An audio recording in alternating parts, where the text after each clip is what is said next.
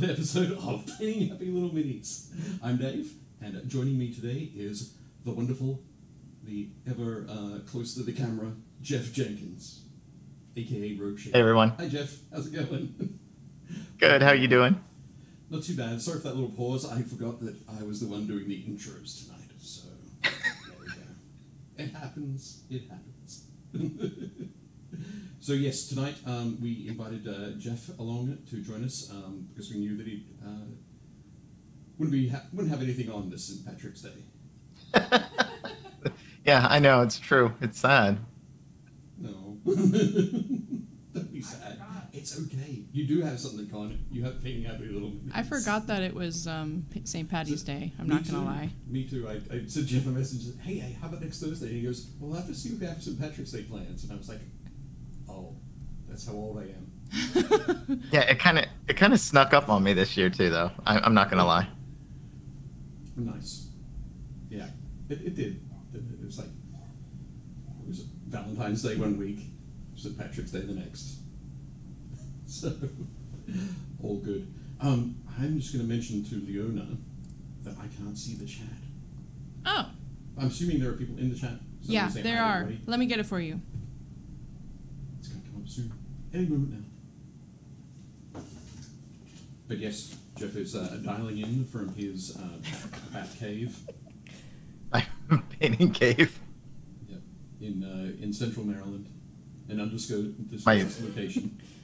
Camp David. My secret, Camp David. my secret fortress, fortress of solitude. Is that where we're going? Sure. Yeah. One of the, one of these things. I, I feel like it's become that. Well, the funny thing is, is that like I, I technically work from this space a lot, as well as right. paint here. I, I really haven't left this space, like this space, in quite a while today. Right. Has all the blood rush like ju- just settled to your legs? yeah, Your feet are now Yeah. three sizes larger. Fantastic. exactly. That's uh, that's often what I do in my my nest in my basement. Saying it like that, it sounds like a bit like an X Files episode. But uh, I like it though. it's all good. But anyway, while Leona's um, pl- unplugging the plugs and plugging them back in again, uh, tonight I'm going to be continuing to paint this um, wonderful Minotaur from uh, Frameworks pack from uh, WizKids. Indeed. Jeff, what will you be painting? I am painting up um, a bunch of the. Let me switch my camera here. Um, there we go. There we go. there we go. Um, yeah, painting a bunch of the um, the Rangers from the um, uh, the new uh, Games Workshop, the Eldritch Omens uh, box, or new-ish, I guess. Um, I'm gonna keep calling them Eldar because I'm old school and I can't pronounce the new name. So um, I'm calling them Eldar Rangers, but Okay. that's not what Games Workshop would call them. They call them Aeldari Rangers. Oh, they just added an I. Is that how it's pronounced? It's just It, it's it's kind of like There's- that. There's a there's a slight change to the to the. Um, were you about to look up how it was spelled? yeah, I was. I was just actually. throw an, How- a, throw an A in front of the Eldar, an A the front and an I at the end, and it's Aeldari. Yeah, it's, it's, it's fine. so that would be nice. But uh, fantastic. And now um, I don't quite have the chat yet, but this is where we will ask. Chat, where are what- you? What are you painting this evening? Where's my- That frown on the Leona's face does not uh, does not bode well. no. Anyway, while we're ready for the come up, uh, I will look to my show notes just over here, so that I know that. Um, so apparently the uh, the first wave of the frameworks, is that right with the monsters? Yes. or the first monster wave at least, uh, is set to be in your local store uh, later this month, early to early April, so a couple of weeks away. Uh, so if you're interested in checking them out, make sure you uh, talk to your local store manager and say, hey, can you get some of these in? Um, Apparently, the Minotaur is going to be twenty-five dollars, and next week we're painting up the Night Hag. Is that right? Yes. Oh, uh, Or so- whoever is here yeah, next week. You and Gretchen will be painting up the Night, Yes. Night Hag. So I think Gretchen is going to be uh, joining us again, dialing in remotely, Yep. and uh, I will be at Adepticon. Jeff Jenkins will be at Adepticon, As I as will I. Yes. Your sound isn't good at the moment. and oh, there Did you go. get it? I can see James. James has made a comment. Is that the first comment? Or that's just no, the first that's one. the we- first one we see. Um, when you say I don't sound very good, as in my audio quality is poor, or my voice is terrible. Oh. It could be both. No, I fixed it. Oh, so you had me on that mic over there Yep. rather than this one right here. Yep. It did sound a little echoey, but I thought maybe it sounded fine for everybody else. So I did not say anything. That's my bad. It's just the way I throw my voice. So like they could hear you, but it just was really low for a moment. Sorry about that, guys. There we go. Cool. Okay. We're so hello, something James. Hello. Josh. Hello, Jazz. Having Uh, someone hope Adepticon is join. good. Adepticon will be wonderful. It so will. th- three years since the last Adepticon. So everybody who's going will be kind of jonesing for it for sure. But uh, yeah, definitely exciting. Um, I bought a little um, fun device, a stabilizing gimbal thing. So I'm going to be able to roam the halls and get some pho- uh, some footage of the show, so I can send that off to Leona to um, show everybody next Thursday night, which will be fun. Be definitely good. Yeah, I'm looking Yes. forward to it. It'll be nice to see a bunch of people that I haven't seen in forever. In three years. That's Yeah. Three wild. years. Three years. Three years, I know, it's crazy. I, I said to somebody earlier, I was like, yeah, the last one was two years ago. And it's like, oh, no, it wasn't. So it should be um, should be good. Uh, I'll be spending a lot of time in the hobby area, um, helping out uh, our friend Damon with, um, with the smooth running of the, the hobby seminars, which will be quite cool. Um, I've got to decide if I'm going to pack anything for the uh, Golden Demons. You absolutely should. There's something in there. Not sure what though. It would definitely be something from an army that I have painted. Because that's the only way I roll. Oops. There we go. I need to be painting up. You've got so much to choose from. I mean, you've been painting like I've painted quite a- since. Yeah. yeah. Exactly. I have painted quite a bit over the last two and a bit years. Without a doubt. Are you going to be uh, taking these ranges, do you think? Jeff, are you going to get Um, they will. N- they will not be done in time at my pace. Um, I mean, I would love to. If I could get like three of them done in time, I'd throw them in squad. But Yep. I don't know if that's going to be a. Uh, I don't know. It's like what four days, but for five days, I guess. Five days, yeah. Before Well, start, you- I'm actually uh, getting in a little early. So Okay. Nice. Well, you could just paint one of them, right? Enter it in single. uh, I think I've got my single, uh, Oh. single mini piece selected.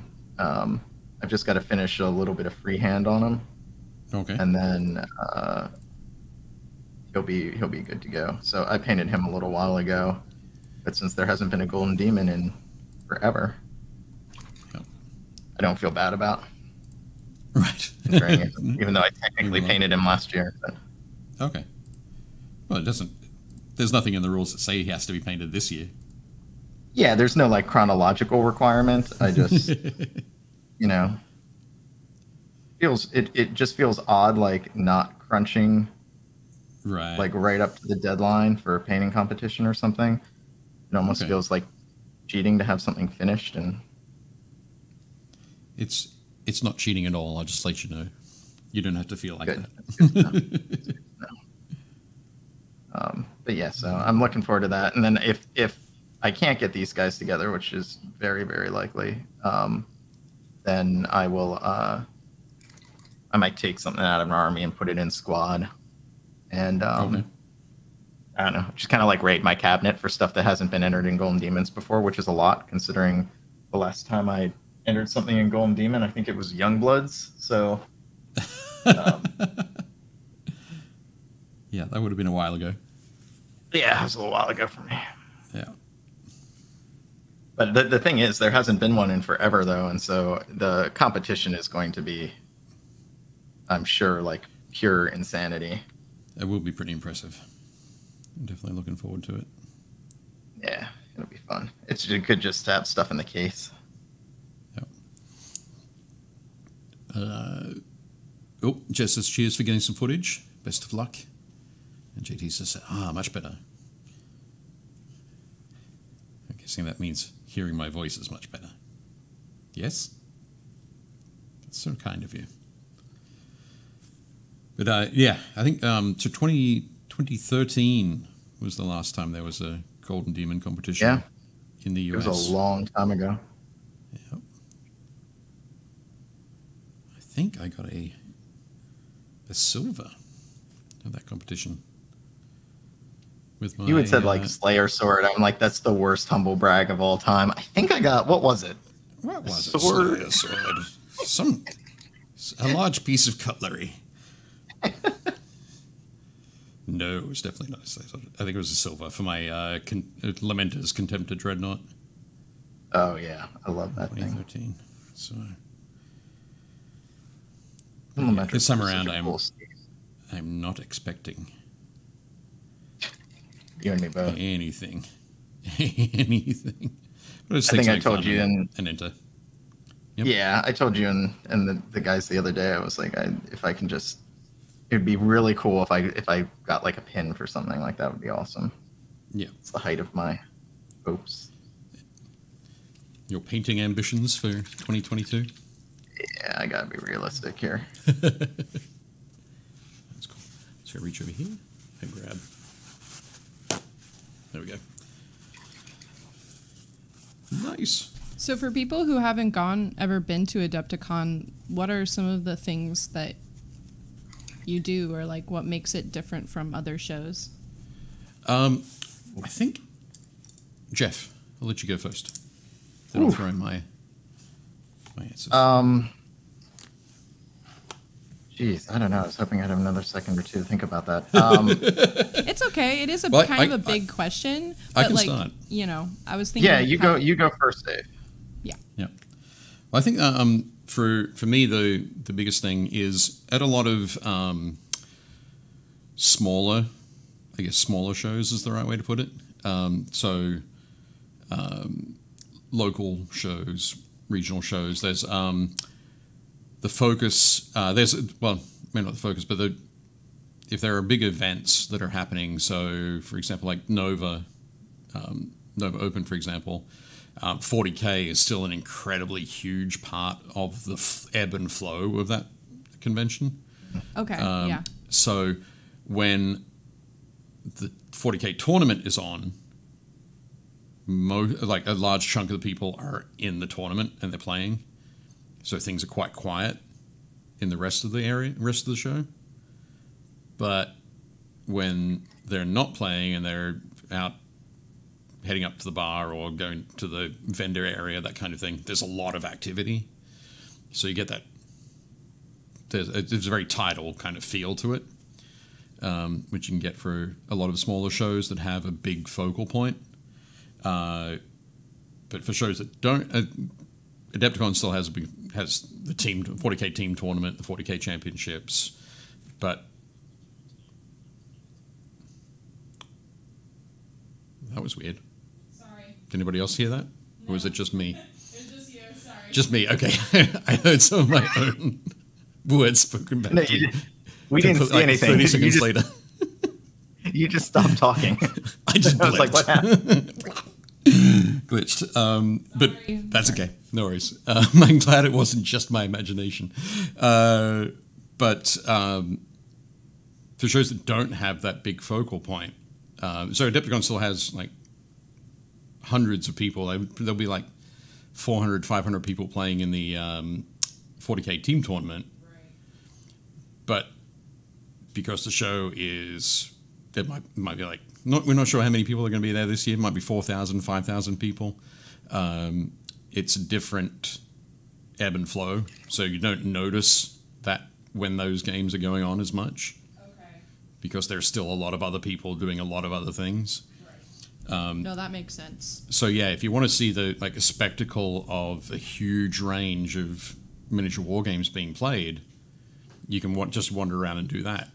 If you want to focus on a particular thing, you can do that as well. You could just spend all your time just playing Marvel Crisis Protocol and talking to people about Marvel Crisis Protocol and looking at Marvel Crisis Protocol miniatures if you wanted to. But if you want to check everything out, you can do that too. So it's very um, uh, there's so much going on, and it's all all happening all the time. Yeah. So I think for some people That's it can be a little bit overwhelming, particularly if they're involved in a lot of different games. Um, but if you're not involved in a lot of different games, you can keep it fairly fairly tight and um, get a the, be fu- sort of fully immersed in in that particular game that you're interested in. I think uh, I think for me the um, I guess the sort of activity around the hobby part of the community at Adepticon is um, that same level of constant activity that I think is you don't necessarily get at other cons. A lot of cons have hobby seminars, they have classes, um, and all of that stuff is great. Adepticon draws not only do they draw a lot of international, uh, really high-end international painting talent for classes and that type of thing. Um, I mean, you can pretty much, if you can name them as a you know very prolific miniature painter, they've probably taught or will be teaching at, at Adepticon at some point. But uh, beyond just that, um, they're they have this hobby area outside of the instructors' classrooms that is this I, I can only describe as like this huge banquet table. I mean, it's just a bunch of, of tables stuck end to end um, Yep. right out in this lobby area, and you can just hang out there and paint and hang out and talk to people or whatever about the hobby or whatever the case may be for the entire weekend. Um, And some people do, by the way, just hang out there for the entire weekend. So They- I think that component of it is really neat. Yeah, Yeah, exactly. yeah. And I think that part of it's really, really cool. The um, the the funny thing as well is that it has a uh, an unofficial name Yes. um, that most people who go to the show would recognize it as is uh, Fort Wappel. So uh, James and Kathy Wappel are two uh, great painters from the Chicago area, and for the longest time they've spent most of their show in that area. Um, Jim does a lot of uh, sort of teaching and is, is very very keen, uh, very sort of keen and enthusiastic about talking about painting and about learning things about painting and that kind of thing. And uh, Kathy does a lot of that as well. But uh, yeah, I think knowing that the Wappels are going to be there as well, if you wanted to sort of sit down and, and learn a bit more about like pre-shading or um, sky earth non-metallic metals or object source lighting or name the sort of approach that you want to want to learn the weekend. Um, knowing If that you want, uh, there. if you want to witness, if you want to witness firsthand how it is still possible to be an incredible miniature painter using a 50 cent craft store paintbrush, you also can do that because Jim is notorious for being able to do that kind of thing and still being like incredible. Yep. Yep. So yeah, having having that sort of uh, location at the show was great for uh, for miniature painters, without a doubt. Yeah, I think it's really cool. I and the, just the exposure you get with a show that big to so many people from different elements of the hobby. I mean, like you you know you're discovering games there, and you know things you did games you didn't even know you wanted to play, and you go to you know you add a new game to the list, or you add a new miniature line to the list, or whatever. It's pretty cool.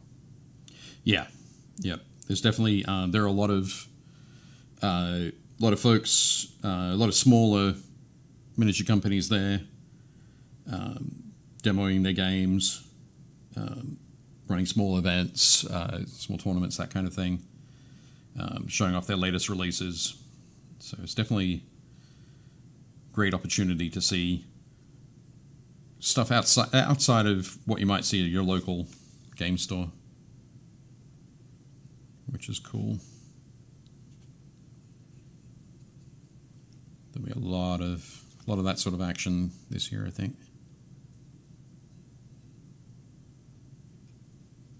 That's super cool. Yep. But as you said, it seems it's since since it's such a huge show, Yeah. they're able to do things that maybe it's harder to do at other shows just because there's scale. Yeah. And even though the the focus of the show is still the um, I guess the tournament events for the wide variety of uh, war games. Um, if you want to get a demo of, of a game, you that that can happen. If you want to see, you want to play in a narrative game, um, where it's not about who wins or loses, but what the story is, that can happen as well. Um, there is role playing going on, there's board games going on, there'll be card games going on as well. So, loads of things going on. Um, the focus is very definitely on miniatures, but uh, Yeah. yeah, you'll be able to explore I mean- all sorts of stuff there. to give you an idea this year, and in fact, I think I did it the last time we had it too, but this year, um, for sure, my schedule is for the most part completely open. I have one class that I'm teaching on, I think Wednesday night, something like that. I don't have a single event scheduled the, the rest of the week. I'm just going to be hanging out, hanging out with friends, doing whatever kind of pop up events look like fun, and painting and, and hanging out. And I will have a blast doing that. Um, so you don't have to go with like a full schedule necessarily if that's not your thing. Yep. So I'm just going to readjust where everything is. I found I was reaching across. Oh, okay. Leo just move the move the cameras on us, so I'm just finding the sweet spot now.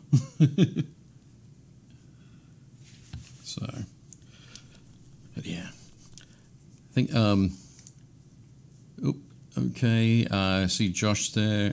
Uh, it says, "Ahoy, Betsy Bowers and Company." I'm guessing I missed Betsy. Sorry. Uh, hi, Betsy. Hi, uh, Bowers family. Um, uh, that, uh, just says like the Glastonbury Festival of Gaming. Pretty much, I think. Yeah, definitely good. Oh, Josh says it's all about the minis, no card games or board games or other such distractions. Well, Mr. Potter, I think you'll find. I'll see if I can find them and get some on, on video. But uh, yeah, definitely very much mini focused. Um, oh, Ayumi says, I'm hoping the first time I get to go to Adepticon, I can finally learn OSL. I can never get it down. Definitely um, keep an eye on the uh, seminars um, before they uh, go on sale and um, check out those. There's usually there's usually one or two or three seminars on OSL Yeah. uh, done by different folks. Uh, so you'll get a different sort of a, approach from each one. I took one, uh, ooh, when would it have been? Six or seven years ago from um, Victoria Lamb. So me too. I took that one too. Yep. Did you get the little, you got the little Hobbit, uh, little halfling mini? I don't remember what the mini was. He was holding up a torch. And that was the, Might the have been. light source. That was good. It was a lot of fun. I mean, that's the person to get the yeah. to get the get- to get the instruction from. I mean, she was essentially you know the first person to have done it in miniature painting, as far as I know, unless there's somebody that.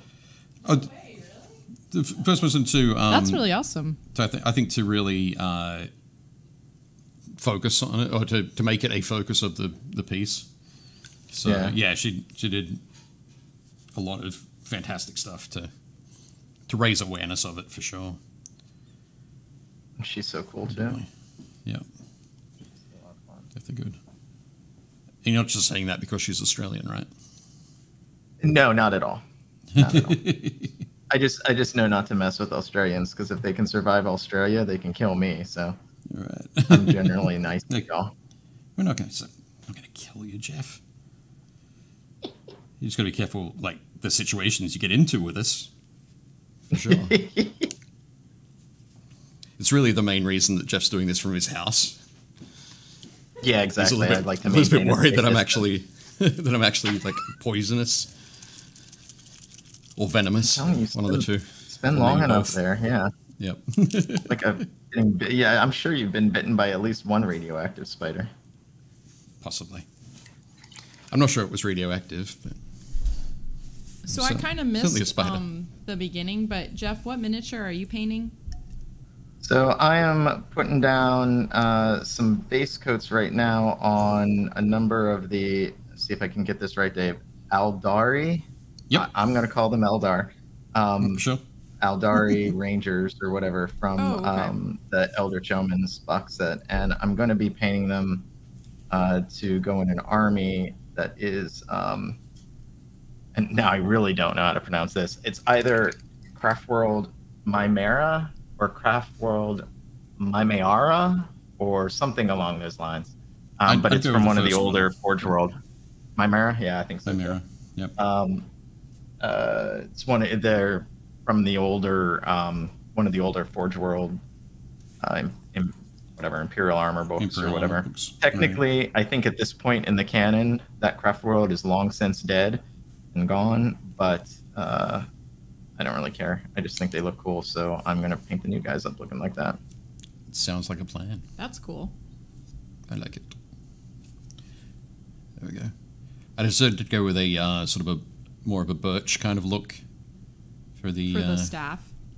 for the half of his axe there. Oh, sweet.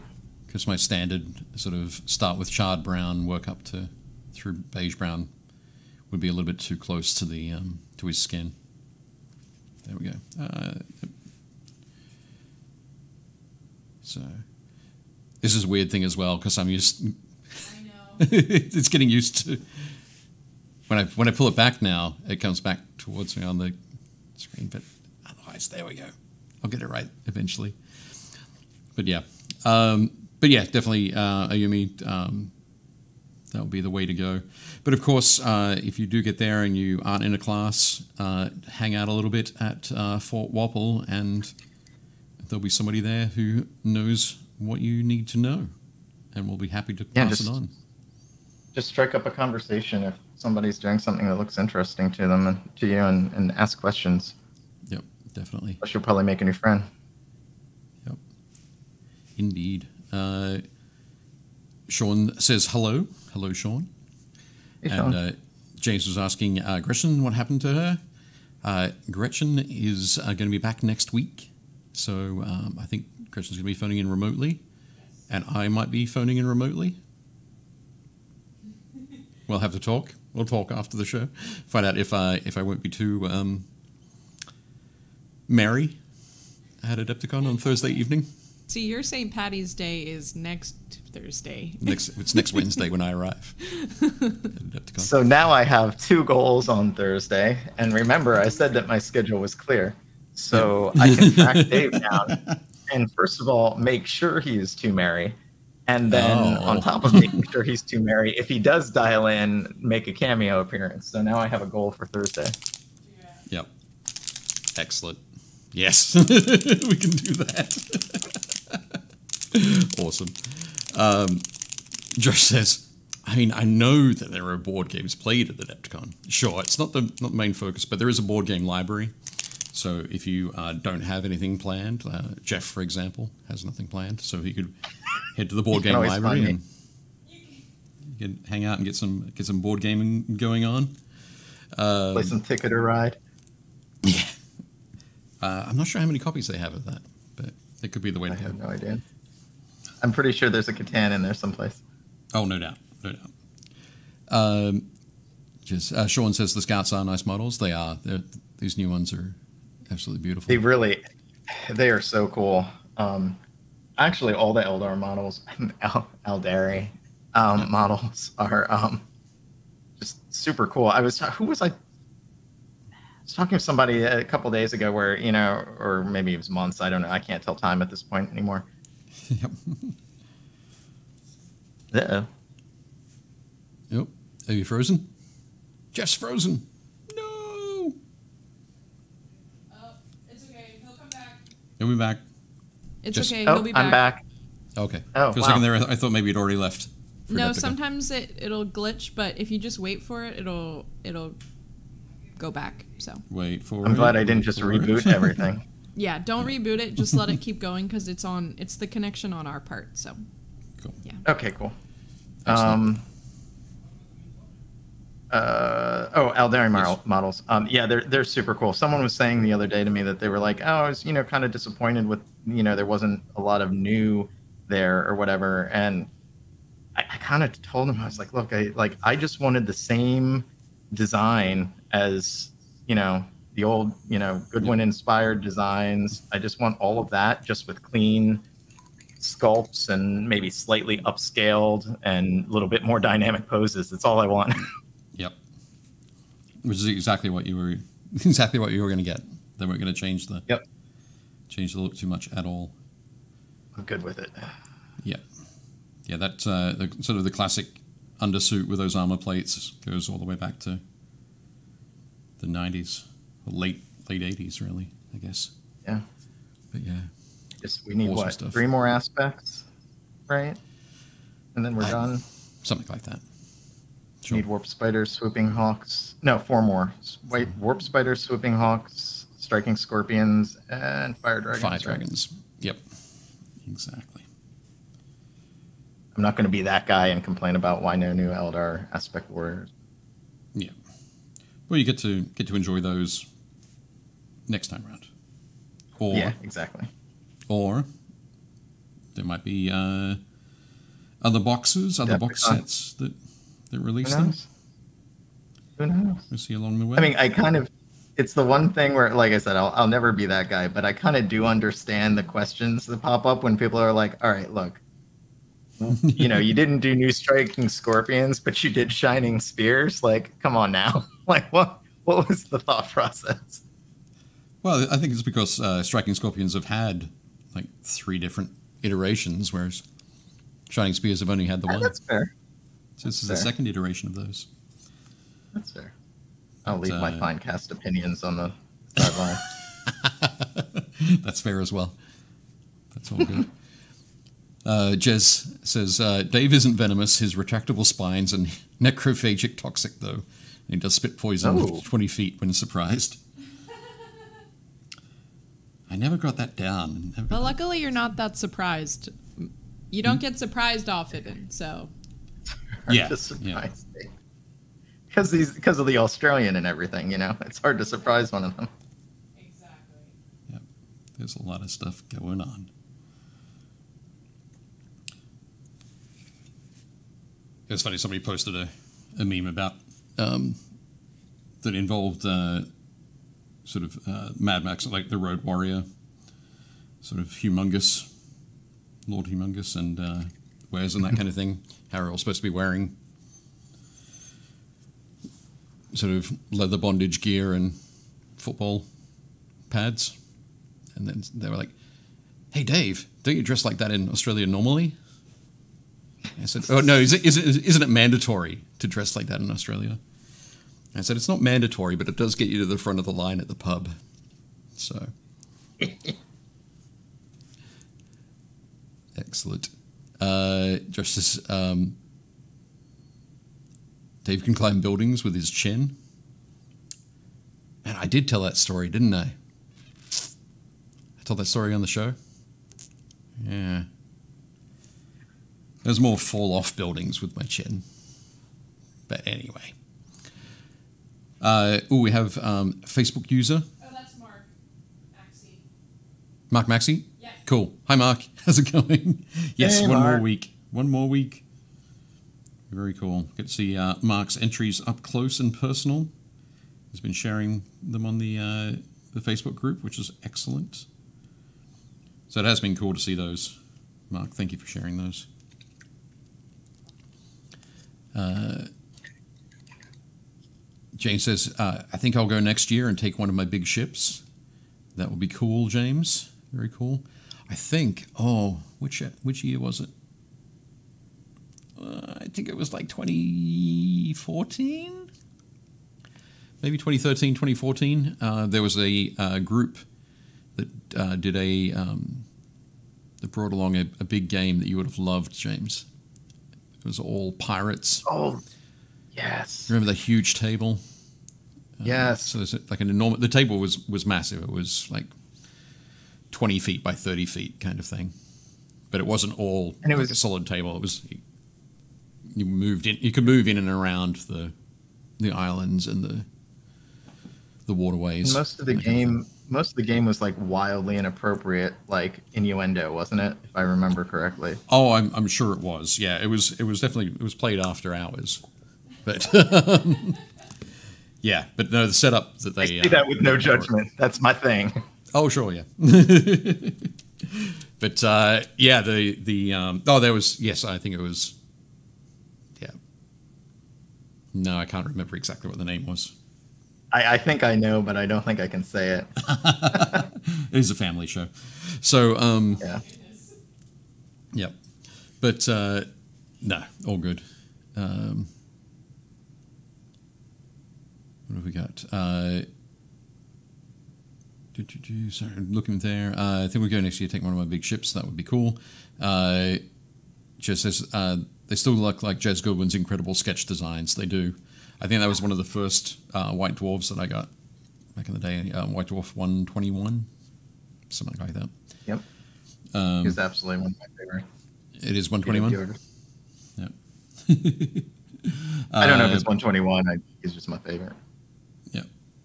Um, but yeah, that had uh, lots of the fantastic uh, Jes Goodwin concept sketches for all of the aspect warriors in it.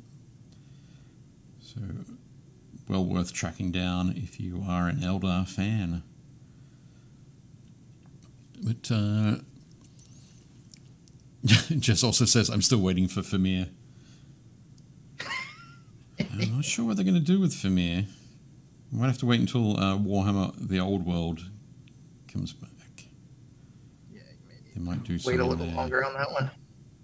Yep. Opportunity to explore Albion. But that would be cool.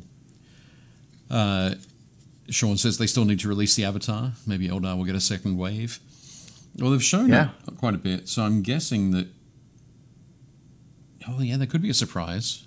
Maybe there'll be something That's a good announced at Adepticon next Wednesday night. Yeah, I didn't think about the fact that he they they'd shown him, but they hadn't announced they hadn't actually released him. I didn't even think about it. Yeah. We'll have to see. I feel like I I feel like Wednesday has to be the new Heresy box, though, right? I mean, that has to be the announcement, or at least one of them. It could be. I don't know. Hmm. We'll have to see. Could do a deep dive on um, Games Workshop conspiracy theory Twitter. Well, let's not do that. That's okay. I agree. Let's stay in the lane. See that over there, Simba? That you should never go there. yes. Exactly. I was gonna. I was gonna take it more down the um, Monty Python pass. They suggest they should go back to Camelot. Yes. On second thoughts, let's not go there. It's such a silly place. it's a silly place. So, uh, yes, it'll be good. Uh, Mark says super excited but super nervous too. Joe says you'll do fine, Mark. Best thing to do is get critiques, um, and those will be available for sure. Uh, oh, James says his 18 by 22 inch trimaran might be uh, might be done by then. That would be cool. Ooh. Oh, Josh says, oh, that pirate game. I recall that one. Indeed. Yeah, it was a handful of something. Yep. It was. Uh, but uh, also, Jez is asking, what paint is that you're using on the Ranger? There. Um, this I am just using um, as a base coat. Um,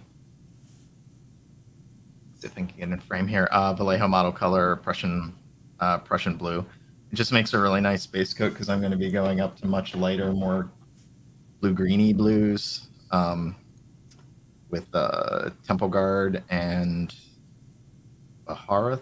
I can never pronounce his name or her name. Baharath. I actually don't know. Bahar Baharath.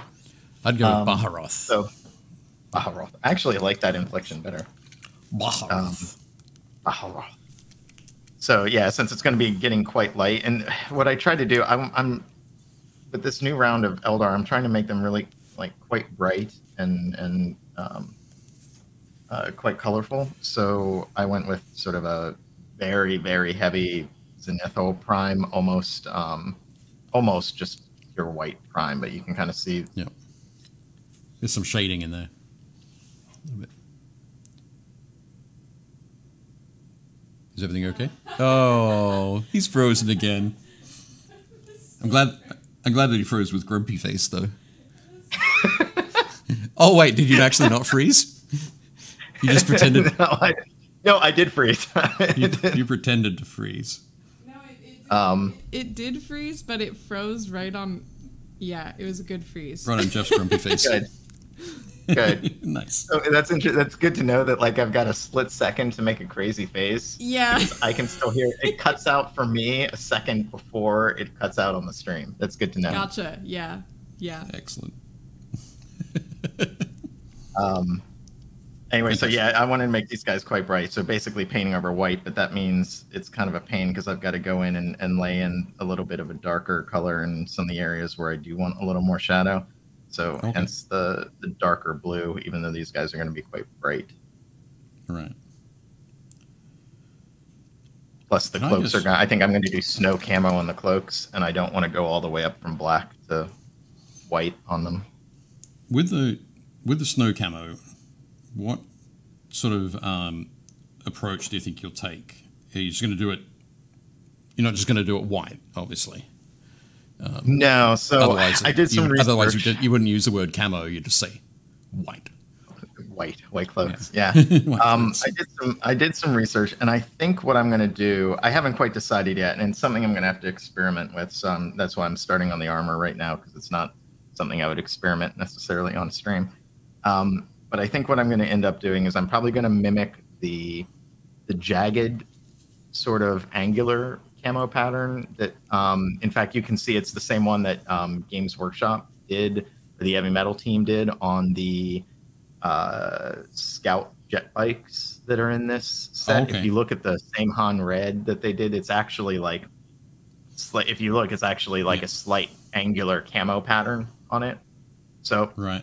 I think I'm going to mimic that pattern and just use like white and like two fairly light grays, not getting it too dark, but just white and like light gray and just keep it like neutral and desaturated because the armor is going to be this sort of bright blue green color and the whites of the rifles will be like white white like really bright white. So just keep and they'll be like a cool white i think i'm going to do. So i'll keep the cloaks rather desaturated and just Okay. you know some gray triangle triangular kinds of shapes Right. Okay. No, that'd be cool. Um, a- so, so yeah it's i kind found of a really good graphic 'em. it goes across the basically it's it's a jagged line that goes across the entire surface. Well, they're more like um Or- I wish I could show you. I found a really good example um like graphic when I searched like snow camo patterns on Google. Um Okay. it was kind of a they're more they're they're more like um polygonal shapes. So they've got like um they're they're tri- like not triangles, but like triangular. And so you'll have like kind of um sharp corners and maybe it's like a six or seven sided kind of blob and those overlaid on top of each other Oh, okay. um, in various different like sizes and shapes so we'll see we'll see how it works yeah, it sounds interesting. Something a little bit a little bit different. Nice. they also could end up just being white cloaks if it turns out to be a disaster and i'm like no thank you and i repaint it so. we'll see I don't think you'll uh, just do white cloaks. Is it something like that? I just put an image on the screen. that's exactly it That's exactly Okay. the image reference that I found. Cool. Yes, that's what I'm going to do. I don't know how I'm going to do that, but that's what I want to do. I would say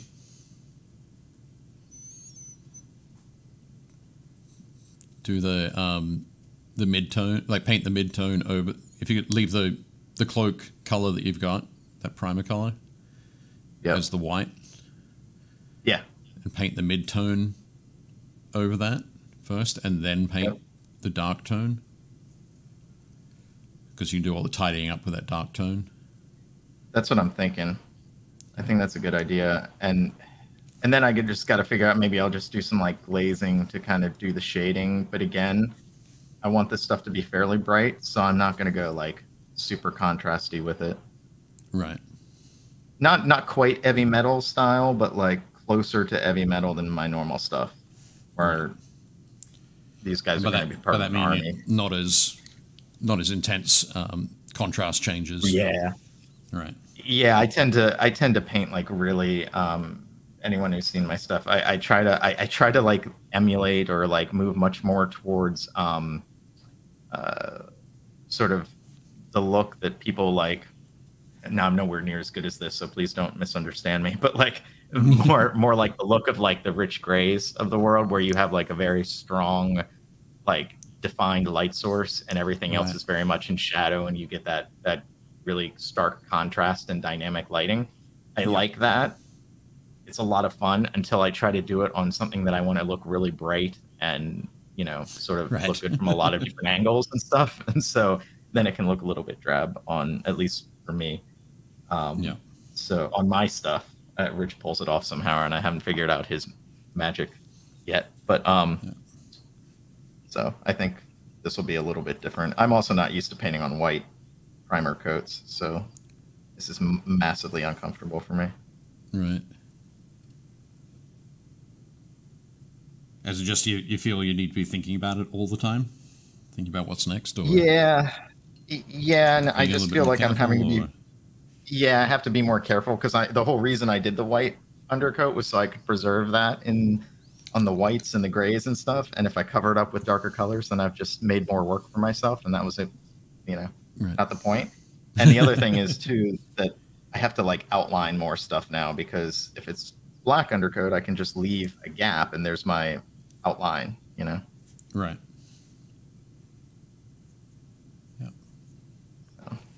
Excellent. I'm just gonna um It's all about experimenting. Yeah, that's true. Um, just quickly, I'm going to uh, just pop this guy aside for a sec and bring in some uh, minis that I painted up today for a um, for an article to go in that's going into. I think it's the May issue of Game Trade magazine. Some. Oh, let me get it right. There we go. Check that out Oh, he's cool. From um, Bardsung. So these guys are uh, Reavers. I think there's the card that I took home with me. Uh, Leona gave me some of these last week. We're going to be painting some of these in April. April? Right. Yep, Gonna in paint Some more minis from the, the thing, so you're getting a, a sneak preview. But um, I did a bit of experimenting on these, um, where I primed them black, and then sort of painted, like dry brushed them. I kind of turn them around and dry brush them this way with a dark green. So I think it was uh, Caliban green from GW, so that the underside was all green. And then came back and hit primed them with white from an angle. Ah. Let me get that right. So kind of from this angle, and didn't do a didn't do a big white prime. Just did a sort of a quick burst. So that meant that I'd have areas like on the f- I don't know if you can see it on the face there, where there's actually green in the shadows and green in the That's skin cool. there. So then I just decided that let me move it. Oh, I'm going to hold it still. There we go. uh, and yeah, just to sort of experiment with that, and then I went back and I started for this guy. I started with the silver, painted all of the silver. I'm going to turn it around so you can kind of see him the right way up. and then I'm going to find the right there. Ooh, there's the right spot. Um, yeah, then uh, painted the silver on the areas that were white because this guy's got a lot of armor on him. So all the areas that have been white, uh, all the armor areas basically, I painted those silver, and then went and went back and forth on the dark green areas. I highlighted those with a bit of dark green mixed with silver, and then on the silver areas, I shaded those with a bit of dark green mixed with silver. So it's kind of a very different way for, of working for me. That looks super uh, cool though. Yeah, it came out. It's a it's a really sort of interesting batch. So I might chuck these on the spinner if that's cool, Leona. I'll just. Um, but you'll be able to see that I didn't paint the back of them because they're not going to be. You're not going to see the back of them in the article, and I have to submit the article tomorrow because I never leave anything until the last minute. You're just talking about that. Ever. Not painting the backs of miniatures today. Yeah. One of our mutual friends and I were talking about that. Uh, um, nice. someone made a joke about not having to do it for a certain competition at some point, Okay. and uh, I realized I had been doing things terribly wrong because I took the time to paint the back of my miniatures for that competition, and apparently I didn't have to. No. Right. Yeah. So fun times. I always liked. Uh, uh, there we go. I do like to paint the backs of the miniatures usually. So for this one, because the painting the front and the sides was a bit of an experiment, it's like this is going to take me a little bit longer to work out exactly how I should be painting the backs. But uh, I was also thinking as well because how many minis are in that Bardsung box? 120? There, there are. I could look at the box. Do you want me to look at the box or just guess? No, no, let's just guess. It's like 40, 50, I think. Is that all? Is that all? I thought you were going to say like 400. No, it's not 400. Weighs that much, but um, no, I think. Uh, but when you're painting a lot of minis,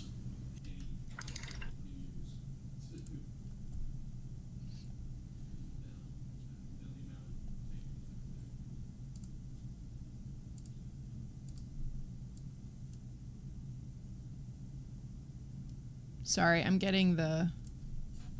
I am actually getting the miniature cam. Just so you know. It's coming.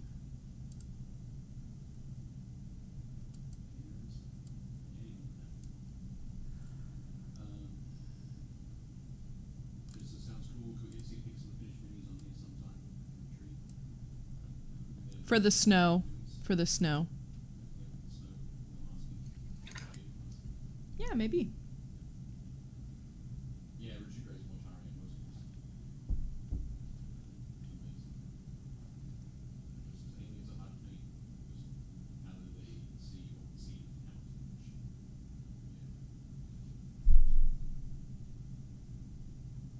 But yeah, you can see on the, the smaller guys too. that on that lower left left side is where the was that green comes into it. Yeah, no, they look really good. I like what you've done. But the uh, the big biggest thing there, the, the thing for the article is going to be talking about sort of being inspired by artwork Oh, okay. that comes with games. So these minis aren't painted exactly the same as the artwork. Right. Um, Steve Forbes artist, whoever uh, doing their artwork, just does the the way that he layers his work is amazing. It doesn't always translate to Miniature painting. It's not an easy trans- easily translatable scheme to a miniature. Right. It's just sort of inspired by. painting. Right.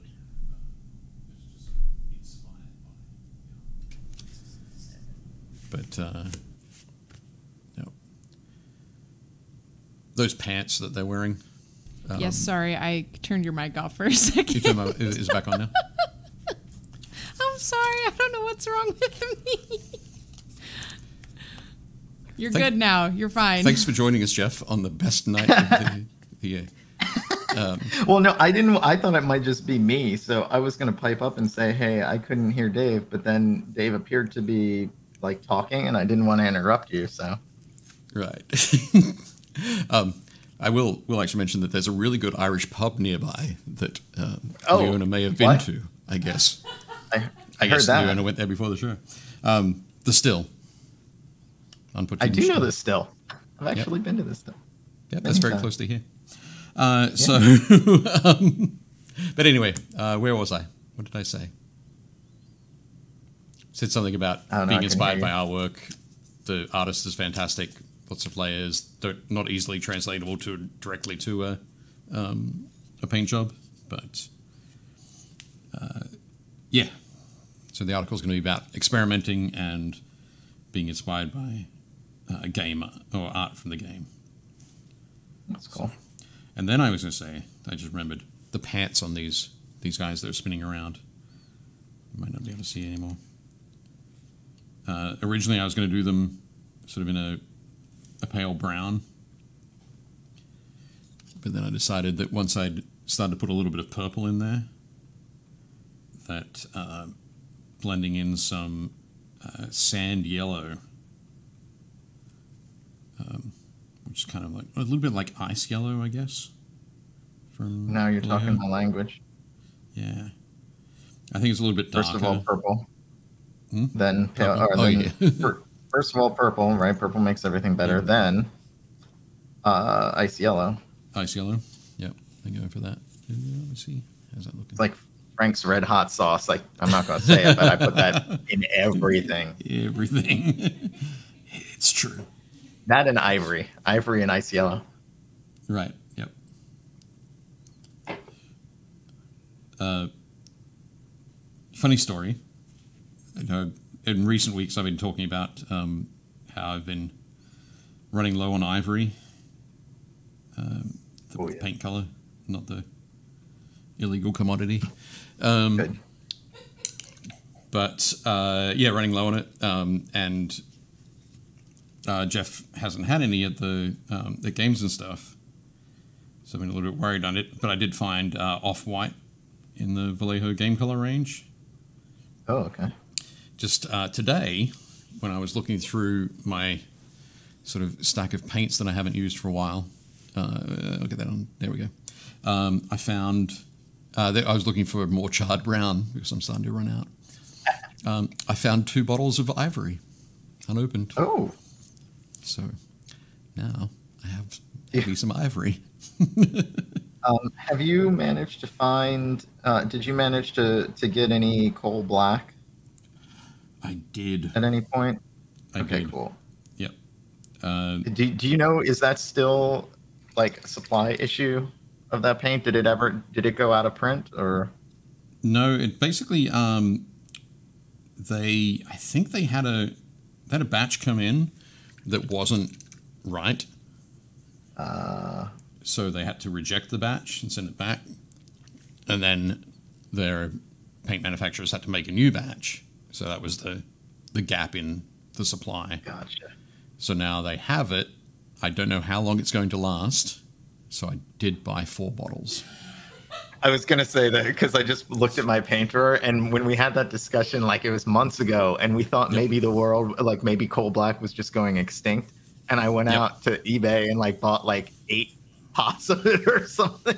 Yeah, so Jeff went and bought eight pots, and then we're talking about it, and he goes, "Oh yeah, yeah, there's a place that on uh, online that you can get it." And I was like, I, "I've looked, and they're all like fifteen dollars a pot." It's like, this is crazy. and he goes, "No, no, no, they're, they're on there for like four bucks." And I was like, "Send me the link." So he sent me the link, and it was like zero available. It's like, Yeah, I might have. I, I I thought they still had them. Well, I did say, look, if you run out before there is more stock, let me know, and we can we can work out some kind of some kind of trade. Some kind of deal. Yeah. Where I wasn't going to have I to pay fifteen dollars a bottle. It might have been Many- ten Many dollars. painters just trade in paint, like out of print paints. I- Yeah, that out is of not print. unheard of. out of It- print it paints. is not unheard of. Yeah. I took the longest time because there was um uh, like and and I did a bunch of tests for for these guys because um, the Mymeara color scheme is this like bright pale blue on the top, but it fades very gradually to this sort of like seafoamish green, um, kind of green on the bottom half of their armor, and um, the the color that Games Workshop kind of used when they were putting their stuff together, that color is out of print. It's like a shade that's no longer available. Um, and so I spent a long time like trying to figure out and replicate it because I was being really stubborn and not going to like eBay trying to find this out of print, you know, shade. And I, I did take a look at what the prices were, and I want to say it was like, I don't know, 20, 30 bucks for a pot of this stuff. I was like, wow. Yeah. Yeah, it can get uh, it can get kind of crazy. Very definitely. One good thing thing with a lot of the uh, the really old GW paints is the uh, company that made them, originally Coat d'Arms in France, uh, still makes that paint range. Yep. So you can pick up bottles of uh, Goblin Green that were made last week, but would be the same color as uh, the Goblin Green you bought from Games Workshop 25 years ago. Yeah, that is the coolest development. Didn't they only recently start remaking them? I'm not sure about that. It's possible, but yeah, I haven't heard. How's that looking? I can turn it around. Turn him around. Nice. There we go. Oh, cool. Yeah, I'm celebrating having all this coal black by Yeah.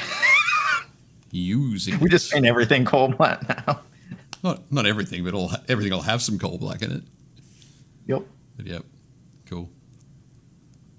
Okay. Uh, oh, Oh, it is eight. oh, it is eight o'clock. Oh my goodness, it's eight oh six. Look at that. Uh, sorry, just quickly, I'll run through the the chat. Um, oh, Lutron says, "Wow, they look fantastic." Cool. Uh, oh, can hear you again. He's back. Uh, welcome, Lutron. Yes, um, yes, their artwork is very artsy. That's um, in regard to um, Steam Forged art. I'm guessing. Bessie's painted a lot of uh, stuff from uh, Horizon Zero Dawn. So I'm guessing that got that thing there going there too. Josh Potter says, "I too have found the benefits of ice yellow." Yep. Yes. Just so this is why there isn't any. Yep. That was one of those things. I think two or three. I think it was two weeks ago. I said, mm, "I have to go and visit um, games and stuff," but I'm not telling you why. Now I can tell you why. It was to buy some of the coal black. I did not buy it all, but I wanted to make sure that I was able to buy some. He was going to purchase it and then tell the rest of us that it was available. Which I definitely did, but unintentionally. I'm sorry. Sometimes you just you got to do the things you got to do. Um, I'll just leave them there like that. Uh, but yes, um, Jay says I can match almost any color. Yep. One of the things that I found um, there's a deep uh, pull it out.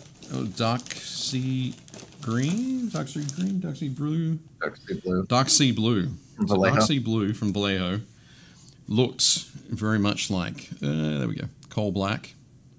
Yep. Uh, and actually, if you were to paint them out, I think they're very similar. The difference comes when you mix white into them. Yep. Mixing white into this gives you a very, um, very strong sort of uh, vibrant sort of color. Mixing white into this really desaturate. This is quite desaturated, sort of underlying. Yeah. So it's more of the mixing was the was the issue that I was having. Yep. So And the um there there's a consistency difference too, depending on there is true. what you want to work with or whatever. Dark um coal black is pretty transparent. Right. Okay. I mean for you know, for a black. Oh, um, sorry. Just quickly, uh, Dave Hummel has popped in to say hi and bye. Oh bye. Bye, Dave. We'll See you later. Um, uh, Jess says I can't match colors well. I'm monochromatic colorblind, and then Oh. laughs about it. No, um, I think it's one of those things. If you're if you're used to it, uh, you you find ways to enjoy your painting. Oh, I do. I'm there's a couple of um I have like a I don't know what the name of the color blindness is, but I um I have think it's troubles, Eldari. Uh, Aldari It's is the you Eldari. pronounce that. That's the way you pronounce color- that color blindness. so sorry. I'm dying. Eldari Sorry. Eldari color blindness. Yeah. Um yeah, I have I have trouble differentiating between um like orange and green a lot of times. Okay. And so sometimes I have to check stuff with my like phone or with a photo or whatever and just make sure I'm you know, On the right track. not putting green on something. Okay. Um, but yeah, you just you can work around it. Yeah. Uh, Lutron asks, uh, sorry, I missed it. Uh, Ice Yellow is from what company? That is from Vallejo. It's in the uh, model color range. Um, just quickly, I'll show you a color on my palette here. There's this color here. Is um, that's Ooh, what is it? Sand yellow. So Oh, that's sand yellow. Yeah, that's sand yellow, and ice yellow is just a little bit lighter, and a little bit cooler. It's, a little, it's like a touch of green in it. I think is it green? Yeah. I A touch of green in it. Just really very faint. It's either green or orange. I couldn't tell you. I was going to say blue, but then then of course that would just make it yellow, uh, green. That So- one I can see. Yeah, that one Yeah. I can see. Yeah. No, that's fair enough. Um, Sean says, looks like the old Deadly Nightshade. No, actually, the Deadly Nightshade was a little bit more um, sort of indigo purple. Uh, but the um, this one, these two are very much um, green. That dark sort of green, sort of. There we go. Might just be the camera changing that color there. Um, just as my color color theory is good, thankfully. It's good. Yeah. Oh, green and orange are the same gray. Oh, that would be tough. Yes, there'd be a lot of color schemes that you end up using on a fairly regular basis. That, Yeah. but uh, no, fantastic. Anyway, yes, Leona is prompting us. We're getting on to the uh, the miniature showcase for the week. Uh, is that miniature showcase is our new title for it? Yes. That's the working title. Working title. It's uh, it sounds like a title I would come up with, which means it lacks Oh, whimsy. I'll change it. I'll change the camera back, Jeff. That's okay. I go back. There we go. It's cool. Easy.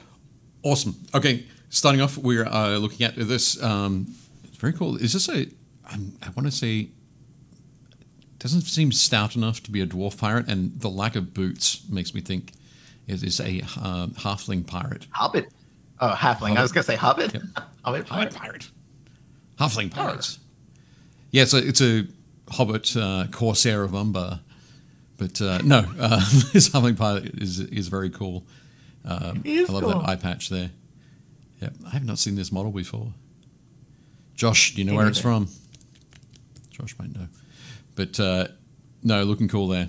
I think the thing I um, like the most there is Andrew has uh, gone in and painted. So with the the hair and the beard, um, gone in there and painted those nice uh, grey streaks through the hair. Yeah. Um, I, f- I feel like this one might have been uh, copying my hair color. But uh, no, nice work, Andrew. Looking good. I like him. just says, "Oh, cool, short John Silver." Excellent. Looking nice space wolf. Yep. They're looking Wait, is it a space wolf? I can't tell from the the heraldry. It is. Um, so this On it's the a pauldrons. uh, so on the um, well, I'm going to guess that it's a space wolf, but on the uh, his right, our left, that um, red and yellow. Oh, I can see the claw. So there's there's yeah. red claw, um, which would be uh, the colors of uh, the blood claws. So this guy's a, I'm guessing he's a uh, an assault intercessor. But uh, it looks like that, and then on the other shoulder pad is uh, it's white there with the probably like Logan Grimnar's company, uh, sort of the rear Oh, end. is it? Yeah, yeah. I I saw just the claws, and for some reason I thought um oh, I can't think of the creature it is. Doesn't matter. Looks great. I, I like It- the um the the armor lining is very neat in this. There's a lot of definition between each armor panel. Yep, I agree. I think it's looking uh, looking very cool, and I like that the um, that Andrew hasn't tried to make. So you've got that bright white on the left shoulder pad, bright yellow on the right shoulder pad, and everything else is fairly um, neutral and desaturated. Um, so he hasn't tried to compete with that white shoulder pad by painting the um, the skull on the uh, helmet there too bright. I am also I'm also a big fan of space wolves that lean gray as Yep. opposed to lean blue. Yep, the pale blue. Looking good, That's Andrew. Nice work. Oh, Ashlyn. He's painted up a, uh, a nun with a gun and a big power fist. I did see this, and I was like, I wonder if Ashlyn's going to put this in her uh, Sister of Battle army. I love it. Great highlights on the black. Yep. Yeah, definitely. The highlights on the black are looking great, uh, and particularly on the on the back there, Mhm. down the down the bottom where the leg is kind of kicked back, and obviously the, everything Yeah. underneath that uh, the the wimple there is in shadow Yeah, on the back. yeah. That's I mean that's sort of almost like cast shadow down Yeah. from the pieces. That's great attention to detail. Looking very cool there. But uh, and Jess says um, that's rampant in heraldry. That's oh that that that pose. So that'd be like lion rampant or wolf rampant. Right. Yep. So um, yes. Anyway, that would be sable, sable Right. wolf rampant on or field. Oh, getting deep into heraldry there. Um, oh, fantastic. Ayumi, uh, I think we saw a work in progress of this um, a couple of weeks ago. But this is from uh, Monsterpocalypse uh, and is looking fantastic. One of the things I really loved um, last time we talked about it uh, is the different textures that Ayumi's got going on here. Um, So obviously there's the, the feather texture, the scale texture, um, the non-metallic metals for the um, the headdress and the various parts of the uh, the coatl there. Uh, yeah. The NMM is great. Yep. And then taking the time that with the um, the underbelly, it's very um, and I want, want this to come out the right way. It's very simple and plain, so it's not. Amy hasn't overworked that area, which would have made Yep. it very difficult with all of the other textures that are, that are going on. Um, yeah. So I think it's got that. There's that balance. You've always got to have a have a spot where your your eye can rest and isn't sort of um, constantly sort of moving around little details. But uh, yeah, looking very cool. And I love that bright green at the front of the the snout of the snake, hmm the coatl. Really draws the eye. Yep. Yep. Super cool. Nice work, Yumi. Oh, Ben Warwick with the Bone Six sneak preview. Oh, My goodness. Has Bone Six gone to? We haven't had the Bone Six Kickstarter yet, have we? Hmm. I wonder if Ben is a employee of Reaper. Josh will let us know. yep. oh, he said Cool. the scales took forever on that last piece. Very nice. yeah. But anyway, I um, believe that. Yes, this is a very cool little uh, little goblin. I assume it's a goblin. I love those uh, that scale mail there. But yeah, very nice um, yellowish, more uh, like a much more yellowish green, like a almost like a mustard yellow for the skin, um, which is super cool. You don't see that a lot. Yeah, I like it. Sometimes see it on gnolls, but not so much on goblins. But yeah, looking very cool there. Nice work. It is a cool goblin. And then uh, we've got Betsy's uh, dwarf. This is from uh, the Journeys uh, in Middle Earth. and I don't know which dwarf this is. I can't remember which one had the red cloak. I don't remember. Paint job's great. Super Yeah. clean. It is fantastic, isn't it? Yeah, really, really sharp. Yep. Um, love the work on the. Uh, it's Barlin. Okay. Fantastic. Okay. Thank you, Betsy. But yeah, beautiful work there. I love the. Um, I think I mentioned in the work in progress on this uh, that I love the um, different textures. Yeah, as well, talking about the Yumi's textures in this one. Yeah, Yeah. the um, the rust and the yeah the the weathering on the the uh, axe there, the way that's that's handled. The um, that cloak, those um, blends are beautifully smooth. Yeah, buttery smooth. They look really Yeah. great. and that uh, little uh, sort of glossy sheen on the on the raven there. Beautiful work, Betsy. Yeah, it's really great. Looks awesome. Nice work. Uh, oh, sorry, just quickly, Josh says it's coming. There are some preview figures going out with orders right now, and you know Reaper loves their promos and freebies. Uh, they're being snuck into orders here and there. Nice work. Um, oh, Brad White has painted up this uh, very cool coach. Um, I don't know where this is from, but I'm going to guess that don't this is uh, WizKids uh, Nolzur's or Deep Cuts. Kind of has that feel. Uh, there's a, the feel of the uh, Gypsy Wagon that we painted uh, a Yeah. couple of years ago. But yeah, uh, looking good. I'm liking the. Uh, so there's a lot of obviously the, the brown wood that's been used on the coach, liking that. But the um, and then the that deep red on the Mhm. um, not only on the the bench, the leather sort of the padded, the quilted leather bench there, but the uh, the roof. So I think it's nice that there's that separation of the two. They're different material, showing a different material, different color, Yeah. different um, approach. Well, and the pop of color helps to break up, you know, what is otherwise a lot of wood. Yep. So much brown, but uh, yeah, definitely Yeah. cool. And I think, um, well, sorry, can you just go back to for a second? The owner is on a mission. It's gonna make up the time we ate up. Yeah, exactly. um, so uh, some very cool um, use of the birch seed pods on the um, the base there for those that aut- autumnal feel. Yeah, if you can ever get hold of those birch seed pods for autumn leaves, definitely do it. Nice work, Brad.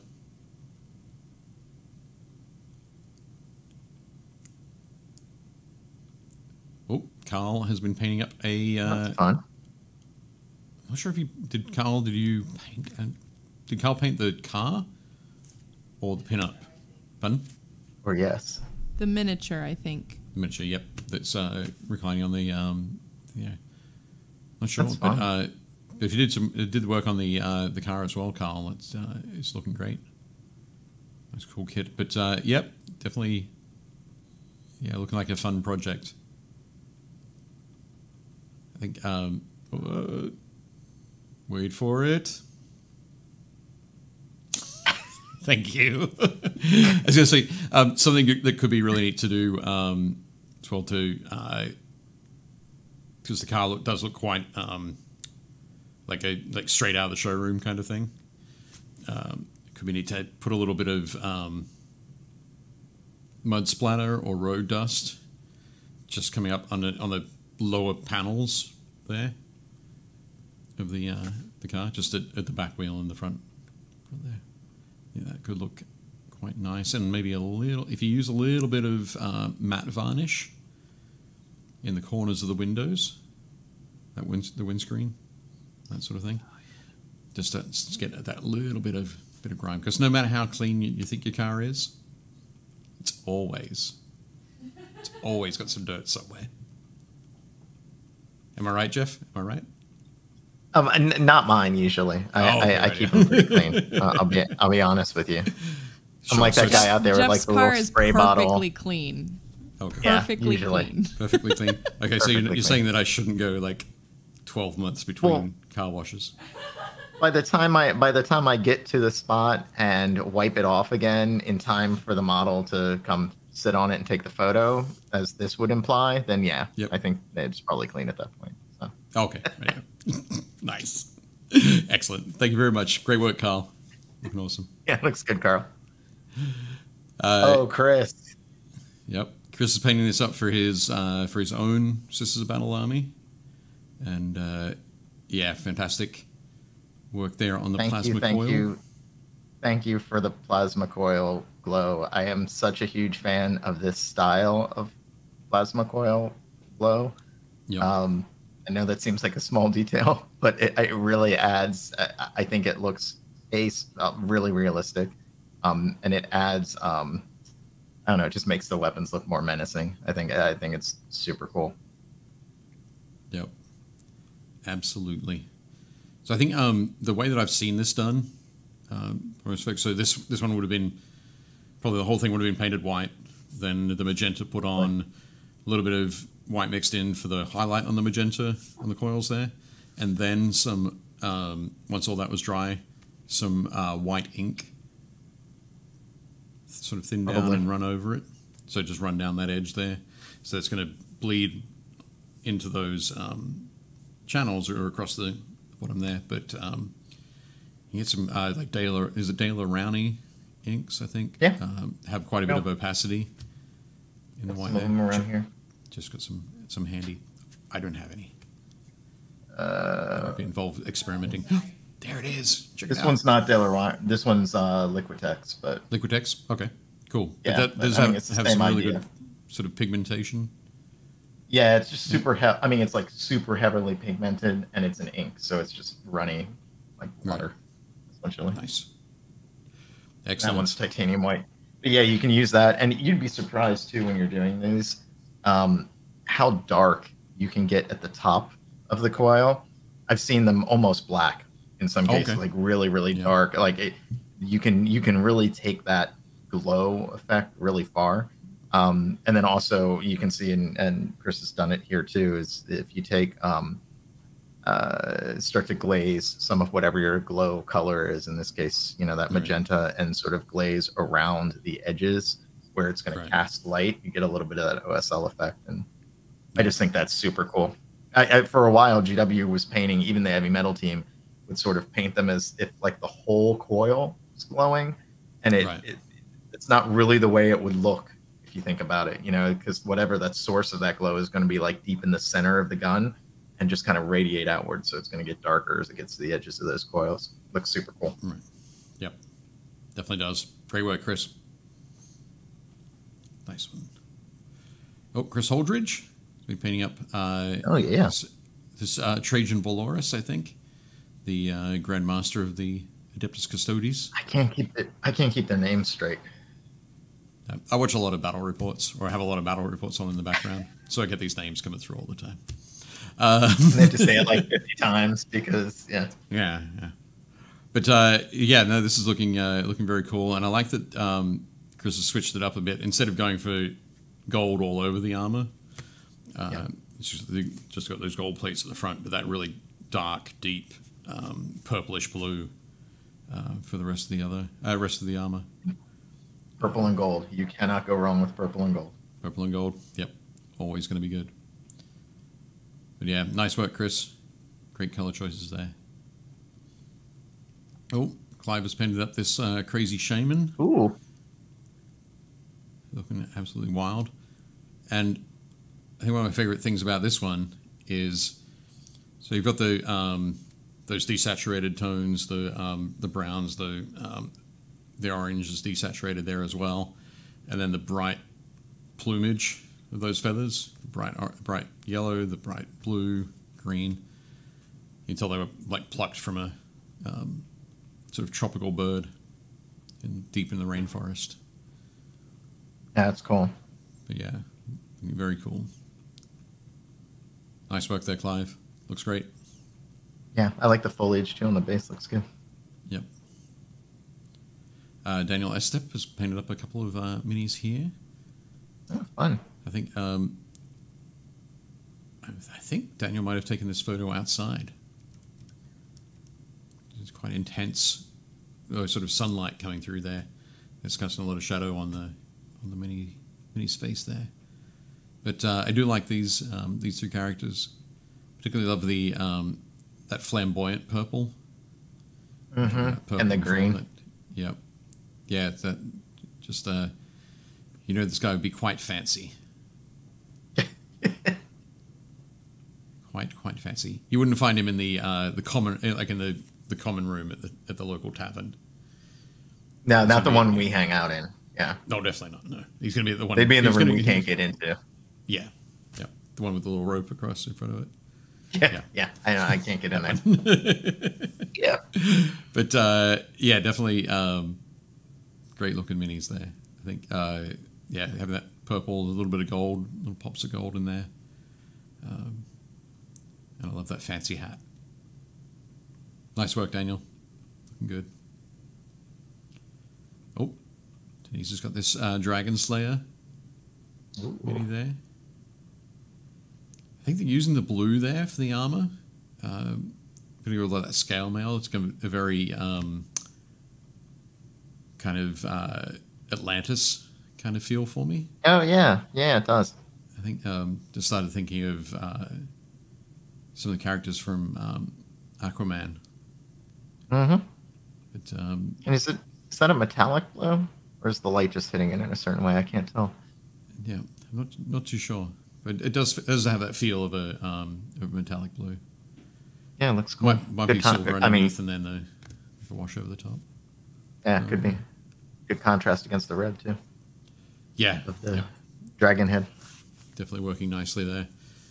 Uh, but I do love that little uh, little touch of blood on the on the bottom of the sword. Yes. the tip the tip of Yeah. the sword. Plunged it in, pulled it out. But yeah, nice work, Denise. Yeah, looks great. I hope your character has been slaying many dragons. Uh, Fabrice has painted up this cool uh, old Mordheim Ah. witch hunter. Um, looking very cool. Is there. that a Mordheim model? Yeah, yeah.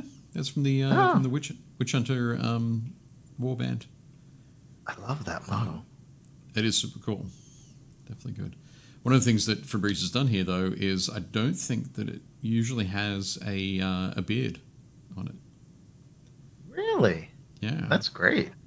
So Fabrice has uh, painted that in. It, it looks uh, looks great. It looks like it is actually sculpted on. But uh, Yeah. unless I'm completely mistaken. But thinking back to my It's a great shadow Oh, to the Witch of the face. Sets it off really nice. Yep, definitely, uh, definitely very cool. But no, I think um, that nice little pop of blue in the middle as well, Mm-hmm. surrounded by all of that sort of the, all of the blacks and browns there. Great choice Yeah. Fabrice. Nice work. Definitely.